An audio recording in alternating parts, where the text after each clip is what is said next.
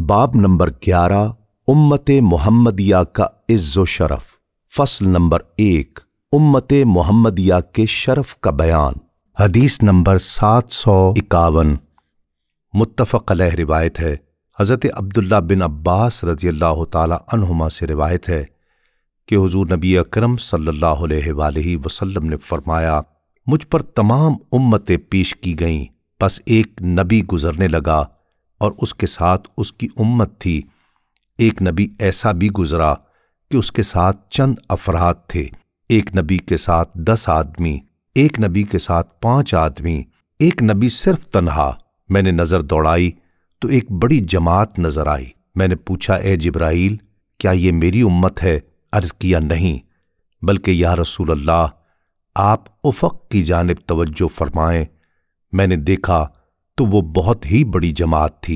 अर्ज़ किया, ये आपकी उम्मत है और ये जो सत्तर हज़ार इनके आगे हैं, इनके लिए ना हिसाब है, ना अजाब। मैंने पूछा, किस वजह से?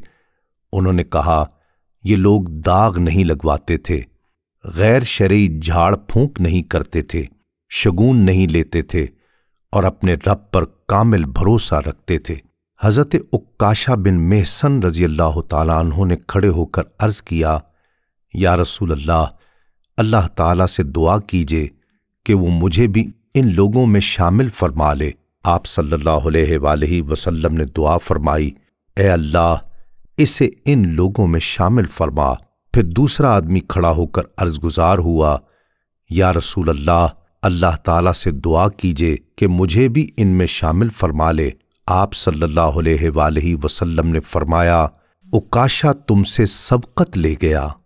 हदीस नंबर सात सौ बावन।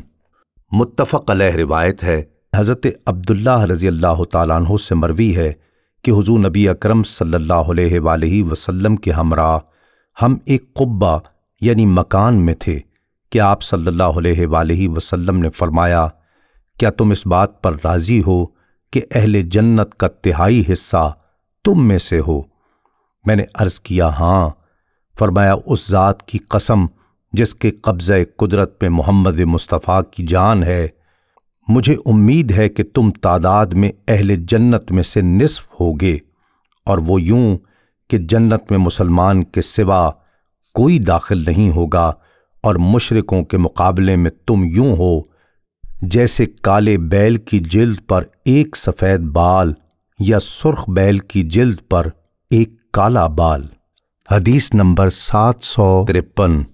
सुनन तिरमजी में हज़रत सुलेमान बिन बुरैदा रज़ी अल्लाह तहुमा ने अपने वालिद से रिवायत किया है कि हुजूर नबी अकरम सल्लल्लाहु अलैहि वसल्लम ने फरमाया, जन्नतियों की 120 सफ़ें होंगी, जिनमें से 80 सफ़ें मेरी उम्मत की होंगी। और बाकी तमाम उम्मतों की सिर्फ़ चालीस सफ़े होंगी।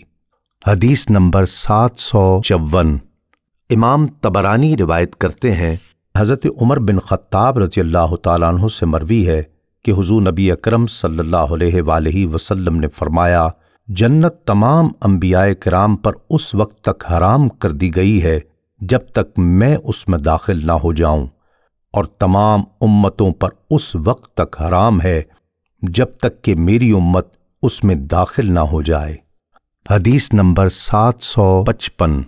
सुनन इब्न माजा में हज़रत अबू ज़र गफ़ारी रज़ी अल्लाह तु से मरवी है कि हुजूर नबी अकरम सल्लल्लाहु अलैहि वसल्लम ने फरमाया, अल्लाह ताला ने मेरी उम्मत से ख़ता, निसियान और जबर इकराह मुआफ़ फरमा दिया है। हदीस नंबर सात सौ छप्पन। सही मुस्लिम में हज़रत अबू हुरैरा रज़ी अल्लाह तु से रिवायत है कि हुजूर नबी अकरम सल्लल्लाहु अलैहि वसल्लम ने फरमाया, अल्लाह ताला ने मेरी उम्मत से उनकी दिल की बातों, यानी वसाविस ख्यालात को मुआफ फरमा दिया है। जब तक वो उस पर अमल न करे या ज़ुबान से न कहे।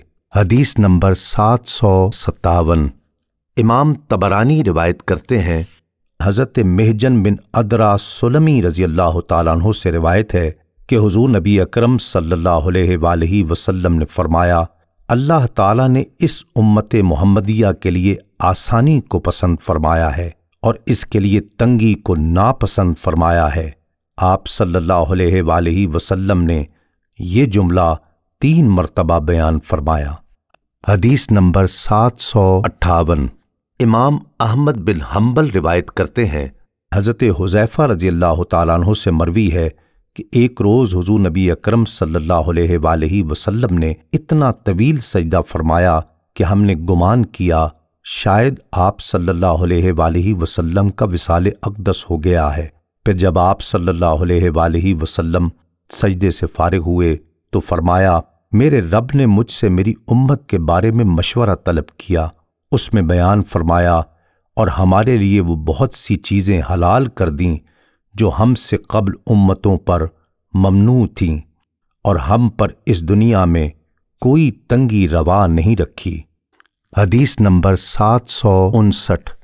इमाम अहमद बिन हम्बल रिवायत करते हैं, हज़रत अबू दरदार रज़ी अल्लाह तु रिवायत करते हैं कि हुजूर नबी अक्रम अलैहि वसल्लम ने फरमाया मैं ही सबसे पहला शख्स होऊँगा जिसे क़यामत के दिन बारगाह इलाही में सजदा करने की इजाज़त दी जाएगी और मैं ही होऊँगा जिसे सबसे पहले सर उठाने की इजाज़त होगी। सो मैं अपने सामने देखूँगा और अपनी उम्मत को दूसरी उम्मतों के दरमियान भी पहचान लूँगा। इसी तरह इसी तरह अपने पीछे और अपनी दाहिनी तरफ़ भी उन्हें देखकर पहचान लूँगा। एक शख्स ने अर्ज़ किया या रसूल अल्लाह आप अपनी उम्मत को दूसरी उम्मतों के दरमियान कैसे पहचानेंगे? जबकि उनमें हज़रत नू सलाम की उम्मत से लेकर आप सल्लल्लाहु अलैहि वसल्लम की उम्मत तक के लोग शामिल होंगे। आप सल्लल्लाहु अलैहि वसल्लम ने फरमाया, उनके आज़ा वज़ू के असर से चमक रहे होंगे और उनके सिवा किसी और उम्मत के साथ ऐसा नहीं होगा और मैं उन्हें पहचान लूँगा। कि उनका नाम आमाल उनके दाएँ हाथ में दिया जाएगा और उन्हें पहचान लूँगा कि उनके आगे उनकी औलाद दौड़ती होगी। हदीस नंबर सात सौ साठ। इमाम अहमद बिन हम्बल रिवायत करते हैं, हज़रत अबू ज़र और हज़रत अबू दरदा रज़ी अल्लाह तहुमा से मरवी एक रिवायत में है कि हुजूर नबी अकरम सल्लल्लाहु अलैहि वसल्लम ने फरमाया मैं क़यामत के रोज़ ज़रूर अपनी उम्मत को दूसरी उम्मतों के दरमियान पहचान लूँगा। साहबा ने अर्ज़ किया, या रसूल अल्लाह आप अपनी उम्मत को कैसे पहचानेंगे? फरमाया, मैं उन्हें पहचान लूँगा कि उनका नामा आमाल दाएँ हाथ में दिया जाएगा और उनकी पेशानियों पर सजदों का असर होगा और मैं उन्हें उनके नूर से पहचान लूँगा, जो उनके आगे आगे दौड़ रहा होगा। हदीस नंबर सात सौ इकसठ। इमाम तबरानी रिवायत करते हैं, हज़रत अबू उमामा बाहिली रज़ी अल्लाह तु रिवायत फरमाते हैं कि क़यामत के रोज़ रोशन पेशानियों और चमकते हाथ पाँव वाले लोगों की एक जमात नमूदार होगी जो उफक पर छा जाएगी। उनका नूर सूरज की तरह होगा, सो एक निदा देने वाला निदा देगा। नबी उम्मी बस इस निदा पर हर उम्मी नबी मुतवजे होगा, लेकिन कहा जाएगा कि इससे मुराद मोहम्मद अलैहि वसल्लम और उनकी उम्मत है। सो वो जन्नत में दाखिल होंगे, उन पर कोई हिसाब और अजाब नहीं होगा। फिर इस तरह की एक और जमात नमूदार होगी, जिनकी पेशानियाँ और हाथ पाँव चमक रहे होंगे। उनका नूर चौदहवीं के चाँद की तरह का होगा और उनका नूर उफक पर छा जाएगा, सो फिर निदा देने वाला निदा देगा और कहेगा, नबी उम्मी, बस इस निदा पर हर उम्मी नबी मुतवजे हो जाएगा। लेकिन कहा जाएगा, इस निदा से मुराद हुजूर नबी अकरम सल्लल्लाहु अलैहि वसल्लम और उनकी उम्मत है। बस वो बग़ैर हिसाब अजाब के जन्नत में दाखिल हो जाएँगे। फिर इसी तरह की एक और जमात नमूदार होगी। उनकी भी पेशानियाँ और हाथ पाँव चमकते होंगे। उनका नूर आसमान में बड़े सितारे की तरह होगा। उनका नूर उफक पर छा जाएगा, पस निदा देने वाला आवाज़ देगा। नबी उम्मी, पस इस पर हर उम्मी नबी मुतवजे हो जाएगा। कहा जाएगा, इससे मुराद भी मोहम्मद और उनकी उम्मत है। बस वो बग़ैर हिसाब अजाब के जन्नत में दाखिल हो जाएँगे। फिर आप सल्लल्लाहु अलैहि वसल्लम का रब अपनी शान के लायक तशरीफ़ लाएगा, फिर मीज़ान हिसाब कायम किया जाएगा। हदीस नंबर सात सौ बासठ।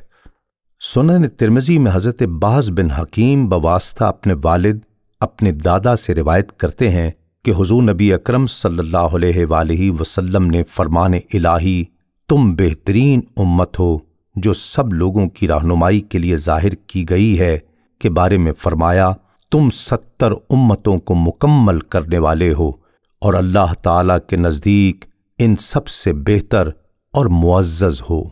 हदीस नंबर सात सौ तिरसठ। सुनन इब्न माजा में हज़रत बाज बिन हकीम बवास्ता अपने वालिद, अपने दादा से रिवायत करते हैं कि हुजूर नबी अकरम सल्लल्लाहु अलैहि वसल्लम ने फरमाया हम क़यामत के दिन सत्तर उम्मतों की तकमील करेंगे और हम सबसे आखिरी और सबसे बेहतर होंगे। हदीस नंबर सात सौ चौंसठ। इमाम इब्न अबी शैबा रिवायत करते हैं, हज़रत अली रज़ी अल्लाह तु से मरवी है कि हुजूर नबी अकरम सल्लल्लाहु अलैहि वसल्लम ने फरमाया, मुझे वो कुछ अता किया गया जो सबका अम्बिया कराम में से किसी को नहीं अता किया गया। हमने अर्ज़ किया, या रसूल अल्लाह वो क्या है? आप सल्लल्लाहु अलैहि वसल्लम ने फरमाया, मेरी रोब व दबदबा से मदद की गई और मुझे ज़मीन के तमाम ख़जानों की कुंजियाँ अता की गईं और मेरा नाम अहमद रखा गया और मट्टी को भी मेरे लिए पाकिज़ा करार दिया गया और मेरी उम्मत को बेहतरीन उम्मत बनाया गया। हदीस नंबर सात सौ पैंसठ।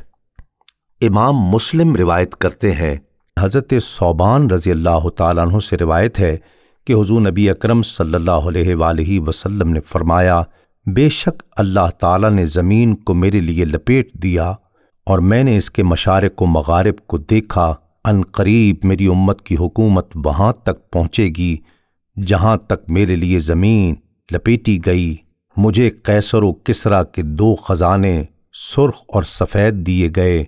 मैंने अपने रब से अपनी उम्मत के बारे में सवाल किया कि इन्हें कहत साली से हलाक न किया जाए और न इन पर इनके गैर से दुश्मन मुसलत करे, जो इन्हें मुकम्मल तौर पर नेस्त नाबूद कर दे। और बेशक मेरे रब ने मुझे फरमाया, ए मोहम्मद मुस्तफ़ा, मैं जब एक फैसला कर लेता हूँ तो उसको वापस नहीं लौटाया जा सकता। और बेशक मैंने आपको आपकी उम्मत के लिए ये चीज़ अता फरमा दी है कि मैं इन्हें कहत साली से नहीं मारूँगा और न ही इनके अलावा किसी और को इन पर दुश्मन मुसलत करूँगा जो इन्हें मुकम्मल तौर पर नेस्त नाबूद कर दे।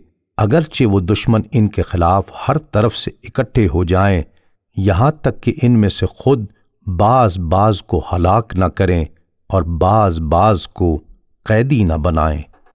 हदीस नंबर सात सौ छियासठ। सुनन दारमी में हज़रत अमर बिन कैस रदी अल्लाह तु से मरवी है कि हजू नबी अक्रम अलैहि वसल्लम ने फरमाया, अल्लाह ताला ने मेरी उम्मत को मरहूम करार दिया और इसकी उम्र मुख्तसर रखी। सो हम ही आखिरी हैं और हम ही क़यामत के दिन अव्वल होंगे। और मैं बग़ैर किसी फ़ख्र के ये बात कह रहा हूँ कि हज़रत इब्राहीम खलीलुल्लाह हैं। और हज़रत मूसा सफ़ीउल्लाह हैं और मैं ही हबीबुल्लाह हूँ और रोज़ क़यामत मेरे पास ही हमद का झंडा होगा और अल्लाह ताला ने मेरी उम्मत के बारे में मुझसे तीन वादे फरमाए और तीन चीज़ों से इन्हें नजात अता की। इन पर आम कहत साली मुसलत नहीं करेगा और कोई दुश्मन इन्हें ख़त्म नहीं कर सकेगा और इन्हें गुमराही पर कभी जमा नहीं करेगा। हदीस नंबर सात सौ सड़सठ। सुनन अबू दाऊद में हज़रत अबू मालिक अशरी रज़ी अल्लाह तु से रिवायत है कि हुजूर नबी अकरम सल्लल्लाहु अलैहि वसल्लम ने फरमाया, बेशक अल्लाह ताला ने तुम्हें तीन आफतों से बचा लिया। एक ये कि तुम्हारा नबी तुम्हारे लिए ऐसी बदुआ न करेगा कि तुम सारे हलाक हो जाओ। दूसरा ये कि मजमू तौर पर अहले बातिल, अहले हक पर गालिब न हो। तीसरा ये कि तुम मजमुई तौर पर कभी गुमराही पर जमा नहीं होगे। हदीस नंबर सात सौ अड़सठ। इमाम अबू हनीफा और इब्न माजा रिवायत करते हैं, हज़रत अनस बिन मालिक रज़ी अल्लाह तु से मरवी है कि हुजूर नबी अकरम सल्लल्लाहु अलैहि वसल्लम ने फरमाया, उम्मत मुस्लिमा वो खुश नसीब उम्मत है जिस पर अल्लाह ताला की खसूसी रहमत नाजिल की गई है। इसका अजाब इसके हाथ में है।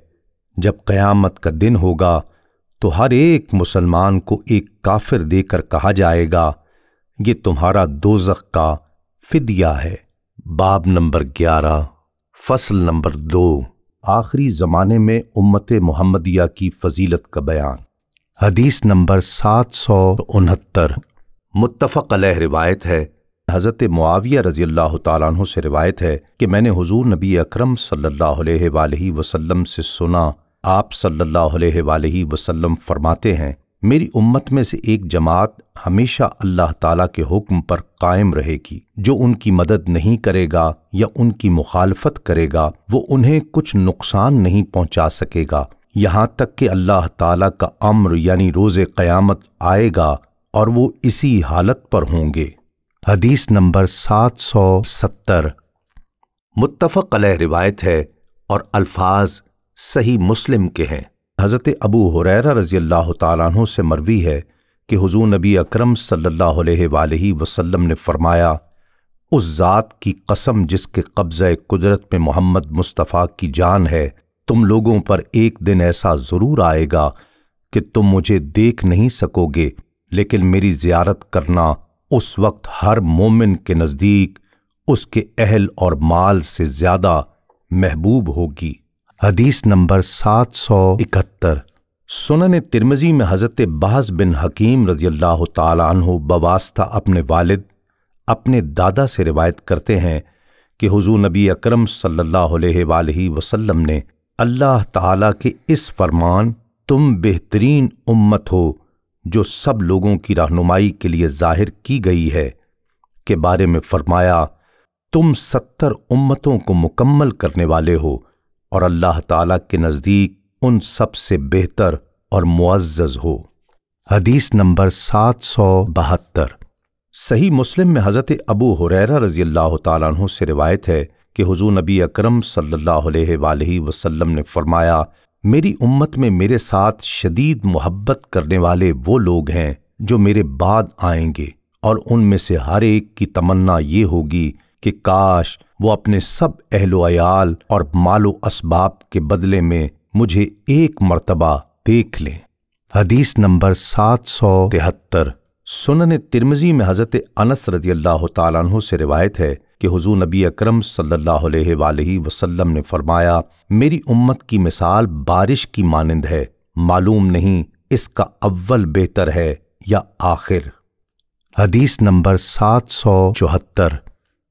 इमाम हाकिम रिवायत करते हैं, हज़रत अबू हुरैरा रज़ी अल्लाह तु से रिवायत है कि हुजूर नबी अकरम सल्लल्लाहु अलैहि वसल्लम ने फरमाया यकीनन मेरी उम्मत में मेरे बाद ऐसे लोग भी आएँगे, जिनमें से हर एक की ख्वाहिश ये होगी कि वो अपने अहलो माल के बदले अगर मेरा दीदार मिले तो वो खरीद ले, यानी अपने अहलो माल की कुर्बानी देकर एक मर्तबा मुझे देख ले।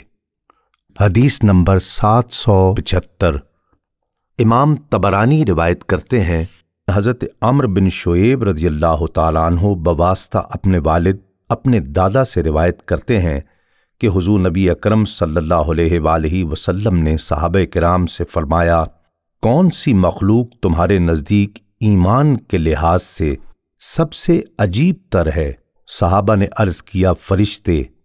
आप सल्लल्लाहु अलैहि वसल्लम ने फरमाया, फरिश्ते क्यों ईमान न लाएँ, जबकि वो हर वक्त अपने रब की हुजूरी में रहते हैं?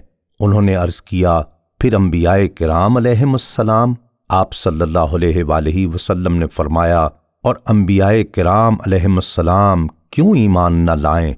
जबकि उन पर तो वही नाजिल होती है, उन्होंने अर्ज़ किया तो फिर हम ही होंगे। फरमाया, तुम ईमान क्यों नहीं लाओगे? जबकि बनफ से नफीस मैं खुद तुम में जलवा अफरोज हूँ। हजू नबी अकरम सल्लल्लाहु अलैहि वसल्लम ने फरमाया मखलूक में मेरे नज़दीक पसंदीदा और अजीब तर ईमान उन लोगों का है, जो मेरे बाद पैदा होंगे, कई किताबों को पाएँगे, मगर सिर्फ़ मेरी किताब में जो कुछ लिखा होगा, बिन देखे उस पर ईमान ले आएँगे। हदीस नंबर सात सौ छिहत्तर। इमाम अहमद बिन हम्बल रिवायत करते हैं, हज़रत अनस रदी अल्लाह तु से मरवी है कि हुजूर नबी अकरम सल्लल्लाहु अलैहि वसल्लम ने फरमाया, मैंने ये ख्वाहिश की कि मैं अपने भाइयों से मिलूं। साहब कराम ने अर्ज़ किया, या रसूल अल्लाह क्या हम आपके भाई नहीं हैं? आप सल्लल्लाहु अलैहि वसल्लम ने फरमाया, तुम मेरे सहाबा हो, लेकिन मेरे भाई वो होंगे जो मुझ पर ईमान लाएँगे। हालाँकि उन्होंने मुझे देखा भी नहीं होगा। हदीस नंबर सात सौ सतहत्तर। इमाम तबरानी रिवायत करते हैं, हज़रत अब्दुलरहमान बिन अबी उमरा अंसारी रज़ी अल्लाह तहो अपने वालिद से रिवायत करते हैं कि उन्होंने बारगाह रसालत माप सल्लल्लाहु अलैहि वसल्लम में अर्ज़ किया, या रसूल अल्लाह आप उन लोगों के बारे में क्या फरमाते हैं जो आप पर ईमान लाए? हालाँकि उन्होंने आपको देखा तक नहीं, आपकी तस्दीक की, हालाँकि आपको देखा तक नहीं आप सल्लल्लाहु अलैहि वसल्लम ने फरमाया, उनके लिए खुशखबरी है, उनके लिए खुशखबरी है, वो हम में से ही हैं। हदीस नंबर सात सौ अठहत्तर। इमाम अहमद बिन हम्बल रिवायत करते हैं, हज़रत अबू उमामा रज़ी अल्लाह तु से मरवी है कि हुजूर नबी अकरम सल्लल्लाहु अलैहि वसल्लम ने फरमाया, खुशखबरी और मुबारकबाद हो उसके लिए जिसने मुझे देखा और मुझ पर ईमान लाया। और सात बार खुशखबरी और मुबारकबाद हो उसके लिए जिसने मुझे देखा भी नहीं और मुझ पर ईमान लाया। हदीस नंबर सात सौ उनासी। इमाम अहमद बिन हम्बल रिवायत करते हैं, हज़रत अबू जुमा रज़ी अल्लाह तु से मरवी है कि हमने एक मरतबा हजू नबी अक्रम सल्लल्लाहु अलैहि वसल्लम के साथ दिन का खाना खाया। हमारे साथ हज़रत अबू उबैदा बिन जर्राह रज़ी अल्लाह तहो भी थे, उन्होंने अर्ज़ किया, या रसूल अल्लाह हमसे भी कोई बेहतर होगा? हम आपकी माइत में ईमान लाए और आपकी ही माइत में हमने जिहाद किया। आप सल्लल्लाहु अलैहि वसल्लम ने फरमाया हाँ वो लोग जो तुम्हारे बाद आएँगे, वो मुझ पर ईमान लाएँगे। हालाँकि उन्होंने मुझे देखा भी नहीं होगा, वो इस जेहत से तुमसे भी बेहतर होंगे। हदीस नंबर सात सौ अस्सी। बेहकी में हज़रत अब्दुलरहमान बिन उला हजरमी रज़ी अल्लाह तु रिवायत करते हैं कि मुझे उस सहाबी ने बताया, जिसने हुजूर नबी अकरम सल्लल्लाहु अलैहि वसल्लम से सुना कि आप सल्लल्लाहु अलैहि वसल्लम फरमाते हैं, बेशक इस उम्मत के आखिर दौर में ऐसे लोग होंगे जिनके लिए अज्र इस उम्मत के अव्वलीन दौर के लोगों के बराबर होगा। वो नेकी का हुक्म देंगे और बुराई से रोकेंगे। और फितना परवर लोगों से जिहाद करेंगे। नेक्स्ट चैप्टर इस उम्मत के कभी भी गुमराही पर जमा न होने का बयान। बाब नंबर ग्यारह, फ़सल नंबर तीन, इस उम्मत के कभी गुमराही पर जमा न होने का बयान। हदीस नंबर सात सौ इक्यासी, सुनन तिरमजी में हज़रत अब्दुल्ला बिन उमर रज़ी अल्लाह तहुमा रिवायत करते हैं कि हुजूर नबी अकरम सल्लल्लाहु अलैहि वसल्लम ने फरमाया, अल्लाह ताला मेरी उम्मत को गुमराही पर जमा नहीं करेगा, या फरमाया, उम्मत मोहम्मदिया को गुमराही पर जमा नहीं करेगा, और जमात पर अल्लाह ताला की हिफाजत का हाथ है, और जो शख्स जमात से जुदा हुआ, वो आग की तरफ़ जुदा हुआ। हदीस नंबर सात सौ बयासी। इमाम हाकिम रिवायत करते हैं हज़रत हारिस अशरी रज़ी अल्लाह तु रिवायत करते हैं कि हुजूर नबी अकरम सल्लल्लाहु अलैहि वसल्लम ने फरमाया, अल्लाह ताला ने मुझे पाँच बातों का हुक्म दिया है और वो पाँच बातें ये हैं, जमात के साथ होने, नसीहत सुनने फर्मा बरदारी इख्तियार करने, हिजरत करने, अल्लाह ताला की राह में जिहाद करने का। बस जो जमात से एक बालिश्त बराबर भी अलग हुआ बस उसने इस्लाम का किलादा यानी पटा अपने गले से उतार दिया, जब तक कि वो जमात की तरफ़ लौट नहीं आता। हदीस नंबर सात सौ तिरासी। सुनन तिरमजी में हज़रत अब्दुल्ला बिन उमर रज़ी अल्लाह तु से मरवी है कि जाबिया के मकाम पर हज़रत उमर रज़ी अल्लाह तहों ने हमें खिताब फरमाया कि मैं तुम्हारे दरमियान उस जगह पर खड़ा हूँ जहाँ हुजूर नबी अकरम सल्लल्लाहु अलैहि वसल्लम ने हमारे दरमियान क़याम फरमाया। फिर उन्होंने फरमाया, जमात को लाजिम पकड़ो और अलहदगी से बचो, क्योंकि शैतान एक के साथ होता है और दो आदमियों से दूर रहता है। जो शख्स जन्नत का वस्त चाहता है, उसके लिए जमात से वाबस्तगी लाजमी है। जिस शख्स को उसकी नेकी खुश करे और बुराई परेशान करे बस वही मोमिन है। हदीस नंबर सात सौ चौरासी।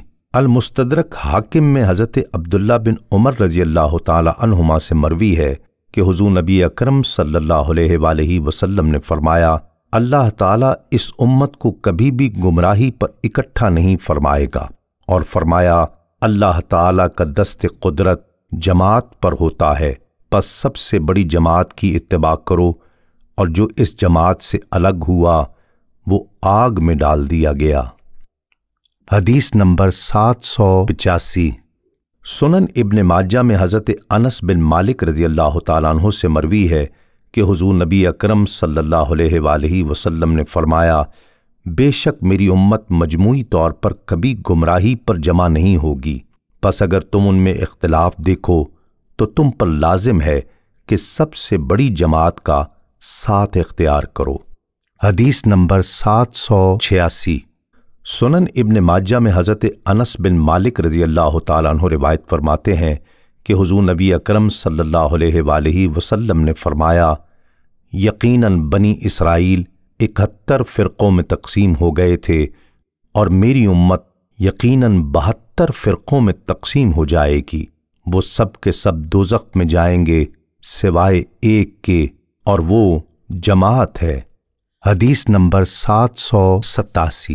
इमाम अहमद बिन हम्बल रिवायत करते हैं, हज़रत अबू ज़र रज़ी अल्लाह तु रिवायत करते हैं कि हुजूर नबी अकरम सल्लल्लाहु अलैहि वसल्लम ने फरमाया, दो शख्स एक से बेहतर हैं और तीन शख्स दो से बेहतर हैं और चार अशखास तीन से बेहतर हैं। बस तुम पर लाजिम है कि जमात के साथ रहो। यकीनन अल्लाह ताला मेरी उम्मत को कभी हिदायत के सिवा किसी शय पर इकट्ठा नहीं करेगा। बाब नंबर ग्यारह, फ़सल नंबर चार, हुजूर सल्लल्लाहु अलैहि वसल्लम को अपने बाद उम्मत के शिरक में मुब्तला होने का अंदेशा न था। हदीस नंबर सात सौ अट्ठासी। मुतफ़ रिवायत है। हज़रत उक़बा बिन आमिर रज़ी अल्लाह तु से रिवायत है कि हुजूर नबी अकरम सल्लल्लाहु अलैहि वसल्लम ने शहदाय ओहद पर दोबारा आठ साल बाद इस तरह नमाज़ पढ़ी, गोया जिंदों और मुर्दों को अलविदा कह रहे हों।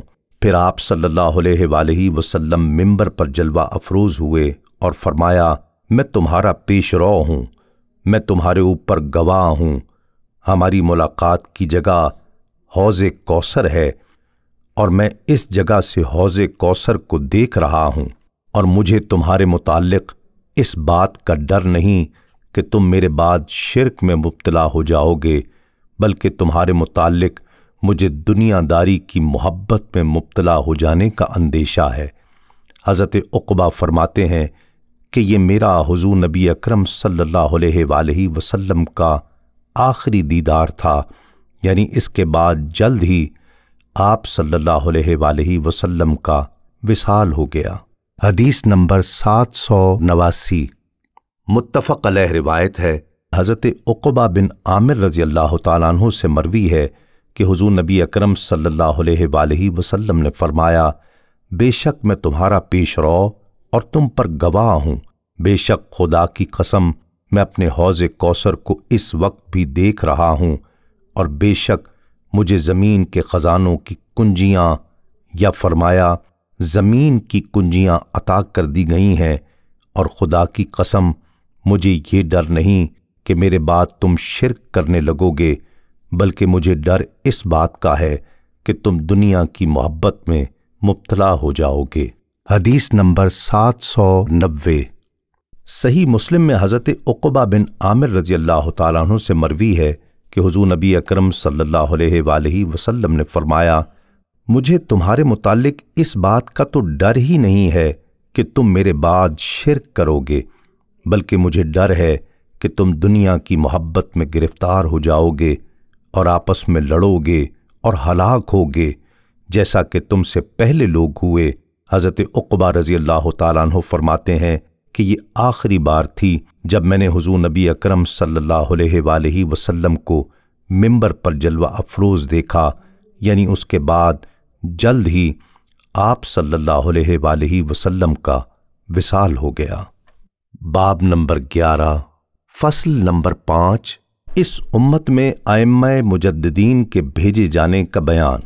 हदीस नंबर सात सौ इक्यानवे, सुनन अबू दाऊद में हज़रत अबू हुरैरा रज़ी अल्लाह तहो उस इल्म में से जो उन्होंने हुजूर नबी अकरम सल्लल्लाहु अलैहि वसल्लम से सीखा, रिवायत करते हैं कि आप सल्लल्लाहु अलैहि वसल्लम ने फरमाया, अल्लाह ताला इस उम्मत के लिए हर सदी के आखिर में किसी ऐसे शख्स या अशखास को पैदा फरमाएगा, जो इस उम्मत के लिए इसके दीन की तजदीद करेगा। हदीस नंबर सात सौ बानवे। मुस्तदरक हाकिम में हज़रत मुआज बिन जबल रज़ी अल्लाह तु रिवायत करते हैं कि हुजूर नबी अकरम सल्लल्लाहु अलैहि वसल्लम ने फरमाया, मामूली सा दिखावा भी शिरक है और बंदों में से महबूब तरीन बंदे अल्लाह ताला के नज़दीक, मुत्तकी और खशियत इलाही रखने वाले वो लोग हैं जो मौजूद ना हों तो तलाश न किए जाएँ और मौजूद हों तो पहचाने न जाएँ। वही लोग हिदायत के इमाम और इल्म के चिराग हैं। हदीस नंबर सात सौ तिरानवे। इमाम अबू नोएम रिवायत करते हैं, हज़रत अब्दुल्ला बिन अब्बास रज़ी अल्लाह तहुमा से मरवी है कि हुजूर नबी अकरम सल्लल्लाहु अलैहि वसल्लम ने फरमाया, जिसने उस वक्त मेरी सुन्नत को मजबूती से थामा, जब मेरी उम्मत फसाद में मुब्तला हो चुकी होगी तो उसके लिए सौ शहीदों के बराबर सवाब है। हदीस नंबर सात सौ चौरानवे। इमाम दारिमी रिवायत करते हैं, हज़रत हसन बिन अली रज़ी अल्लाह तुमा से मरवी है कि हुजूर नबी अकरम सल्लल्लाहु अलैहि वसल्लम ने फरमाया, दौरान हसूल इल्म, अगर किसी शख्स को मौत आ जाए और वो इसलिए इल्म हासिल कर रहा हो कि उसके ज़रिए से इस्लाम को ज़िंदा करेगा तो उसके और अम्बियाए कराम के दरमियान जन्नत में सिर्फ़ एक दर्जे का फ़र्क होगा। हदीस नंबर सात सौ पचानवे। इमाम इब्न राहवे रिवायत करते हैं, हज़रत अबू हुरैरा रज़ी अल्लाह तु से मरवी है कि हुजूर नबी अकरम सल्लल्लाहु अलैहि वसल्लम ने फरमाया, जान लो, मेरे बाद कोई नबी नहीं होगा। साहब कराम ने अर्ज़ किया तो या रसूल अल्लाह तो या रसूल अल्लाह कौन होगा? आप सल्लल्लाहु अलैहि वसल्लम ने फरमाया, मेरे खुलफा होंगे और फिर उनके खुलफा होंगे। सो जिसे तुम सीधे रास्ते पर पाओ, उसके साथ बैत, अहद वफा निभाओ और जो सीधी राह पर न रहें, उन्हें उनका हक दे दो और अपना हक अल्लाह ताला से मांगो। हदीस नंबर सात सौ छियानवे। इमाम कुजाई रिवायत करते हैं हज़रत कसीर बिन अब्दुल्लाह मुजन्नी बवास्ता वालिद अपने दादा से रिवायत करते हैं कि हुजूर नबी अकरम सल्लल्लाहु अलैहि वसल्लम ने फरमाया, बेशक दीन या फरमाया इस्लाम की इब्तदा अजनबियत से हुई, यानी दीन की इत्तबा करने वाले मुआशरे में अजनबी लगते थे। या इसका दूसरा मफहम यह है कि दीन के फैलने की इब्तदा सफ़र और हिजरत से हुई। और एक ज़माना फिर ऐसा आएगा कि ये दीन मुआशरे में दोबारा अजनबी लगेगा, जिस तरह के शुरू में लगता था, और दीन फैलाने की खातिर अलग थलग होने वाले गुरबा, यानी अजनबी लोगों के लिए खुशखबरी है। अर्ज़ किया गया, या रसूल अल्लाह गुरबा अजनबी कौन है? फरमाया, वो लोग जो मेरी सुन्नतों को ज़िंदा करते और अल्लाह के बंदों को इनकी तालीम देते हैं। हदीस नंबर सात सौ सतानवे इमाम इब्न अब्दुल बर रिवायत करते हैं, हज़रत सईद बिन मुसैब रज़ी अल्लाह तु से मरवी है कि हुजूर नबी अकरम सल्लल्लाहु अलैहि वसल्लम ने फरमाया, जिसने इल्म हासिल किया ताकि उससे इस्लाम को ज़िंदा कर सके तो उसके और अम्बियाए कराम के दरमियान सिवाय एक दर्जे के कोई फ़र्क नहीं होगा। हदीस नंबर सात सौ अट्ठानवे। इब्ने असाकिर में हज़रत हसन बिन अली रज़ी अल्लाह तहुमा से मरवी है कि हुजूर नबी अकरम सल्लल्लाहु अलैहि ने तीन मरतबा ये फरमाया, मेरे खुलफा पर अल्लाह ताला की रहमत हो। साहब कराम ने अर्ज़ किया, या रसूल अल्लाह आपके खुलफा कौन लोग हैं? आप सल्लल्लाहु अलैहि वसल्लम ने फरमाया, वो लोग जो मेरी सुन्नतों को ज़िंदा करते हैं और दूसरे लोगों को भी इनकी तालीम देते हैं। मेरे खुलफा हैं। हदीस नंबर सात सौ निन्यानवे। इमाम मिज्जी रिवायत करते हैं। हज़रत अबू सईद फरियाबी रज़ी अल्लाह तु रिवायत करते हैं कि इमाम अहमद बिन हम्बल रज़ी अल्लाह तु ने फरमाया, अल्लाह ताला हर सदी के आखिर पर लोगों के लिए एक ऐसी शख्सियत को भेजता है जो लोगों को सुन्नत की तालीम देती है। और हुजूर नबी अकरम सल्लल्लाहु अलैहि वसल्लम की तरफ़ मंसूब झूठ की नफी करती है।